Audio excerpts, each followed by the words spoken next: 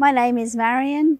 Um, I'm a long-time local resident. I've been volunteering for Dungog Neighbourcare uh, for about the last three years. Um, I decided to volunteer for to become a volunteer for Meals on Wheels because um, I had a little bit of time to spare and uh, I knew they were short of volunteers and um, and it's very rewarding. I get to travel all over the Shire delivering meals to lots of different people.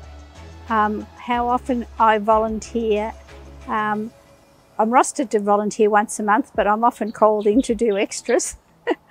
but um, yeah, that's fine.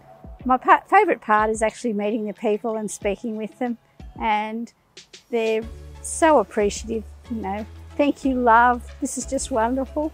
My most me memorable experience was, was when I actually took my grandchildren along and they met a lady who was almost 100 and she spoke about how she was a, telephon a telephonist, would have been back in the 20s.